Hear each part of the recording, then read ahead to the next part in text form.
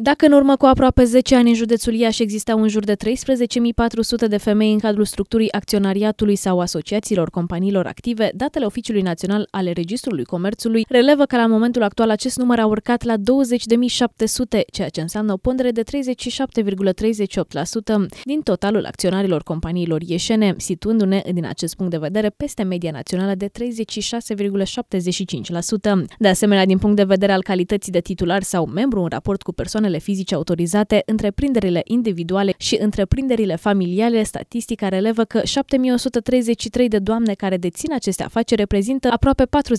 40% din totalul proprietarilor acestor tipuri de business-uri la nivelul județului. De 8700 de femei au calitatea de administrator al unei companii, iar un procent de 9,79% din ele ocupă funcții de conducere.